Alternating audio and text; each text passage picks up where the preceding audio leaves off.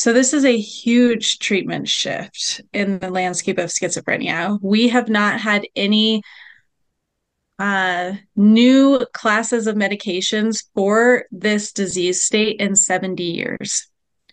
So we've been doing the same pattern of creating new antipsychotics that work off of just D2 receptors, which is actually a postsynaptic solution to um, our dopaminergic pathways. And with schizophrenia, we know that this is actually a presynaptic dopamine problem. And this is the first realm of agents that actually works on a different mechanism of action than typical D2 receptor blockade in all of our first and second generation antipsychotics. So it's really exciting. Yes, so many of our antipsychotics that we currently use don't always target the whole conglomerate of positive, negative, and cognitive symptoms that is demonstrated in schizophrenia. And so you have multiple agents that you're using. Specifically, cognitive impairment, there's not a whole lot that we can do around that in our current state of medications. Now, with the muscarinic modulators, we actually have some data around uh, cognitive improvements. And I think with working with this new mechanism of action and, and the several that will come after that, hopefully, we'll see some cognitive improvements in those with schizophrenia as even a treatment option. But it, it can work on all three domains. Uh, it was seen in the clinical trials for uh, Cobenfy, um, some improvement in those domains. And that's because it's working in different areas of the brain um, in a presynaptic way to modulate uh, that end effect of dopamine and some other neurotransmitters.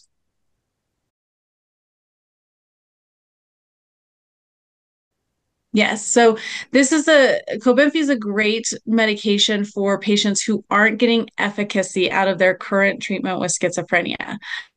But because this is a new mechanism of action and we have to think of the new pathways that this is working through, instead of working through D2 receptors and the blockade on a postsynaptic um, mechanism, this is working presynaptic through cholinergic pathways. And so when we're modulating cholinergic pathways, we have to be careful around acetylcholine anything that's affecting acetylcholine. And this particular agent has an anticholinergic built into it to help modulate some of the side effects, the cholinergic side effects that this medication can give. And so you have to be very cautious around prescribing other anticholinergics on top of this medication. And in in the realm of schizophrenia, a lot of patients end up on anticholinergic medications that are um, used to prevent other diseases or manage other uh, conditions. And so we have to be careful not adding on multiple anticholinergics for this particular uh, medication regimen. So that's one thing to watch out for. Um, and you know, this is an FDA indicated um, monotherapy treatment for schizophrenia. Uh, and so these individuals may need to do a switch type treatment. There are other studies um, being done, and I hope in the future we'll have some more direction around how to use these agents. Potentially in combination with other antipsychotics. Uh, but for right now, it's monotherapy. So, this particular medication for uh, Cobenfy is dosed twice daily so that's one caveat uh, to the medication. It's dosed twice daily and it's actually not given with food. So you want to have it on an empty stomach. We think the opposite. And many times when, when people have GI side effects, we say take something with food. This is the exact opposite. Because there uh, potential for cholinergic side effects can come up, this medication has an anticholinergic built in called trospium. And the metabolism of trospium actually drastically reduces if you add it with food So that's one caveat for patients with schizophrenia is making sure that we have a medication regimen when they're not taking it with foods, either one hour before a meal, two hours after, and then making sure we're not mixing with a bunch of anti other anticholinergics. And there are two uh, antipsychotics that do have some anticholinergic properties um, to be aware of, and that's uh, olanzapine and quetiapine.